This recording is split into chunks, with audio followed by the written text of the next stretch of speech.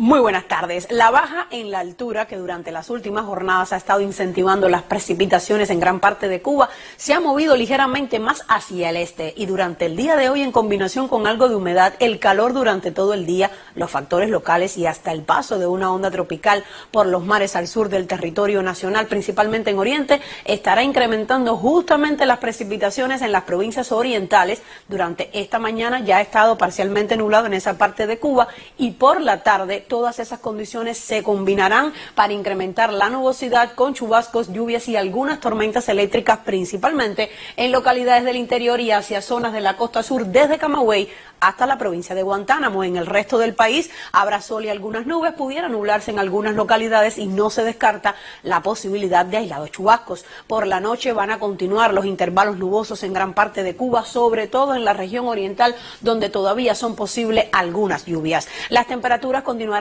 calurosas con valores máximos entre 31 y 34 grados Celsius. Pueden ser ligeramente superiores en algunos puntos del interior. Por la noche las temperaturas estarán en el entorno de los 24 24, 26 grados Celsius en casi toda Cuba. Los vientos han estado soplando variables débiles en las primeras horas del día. Por la tarde lo harán entre el nordeste y el este solo hasta 25 kilómetros por hora. De esta manera todavía continúa el poco oleaje en ambas costas orientales y la mar estará tranquila en el resto de las costas. Así que ya usted sabe, otra jornada donde se incrementarán los nublados con chubascos, lluvias y algunas tormentas eléctricas, sobre todo desde Camagüey hasta Guantánamo. Hasta aquí el tiempo. Gracias por la compañía. Cuídese mucho y tenga buen día.